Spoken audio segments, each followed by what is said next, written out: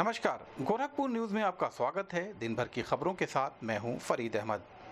SDM Sadar Neha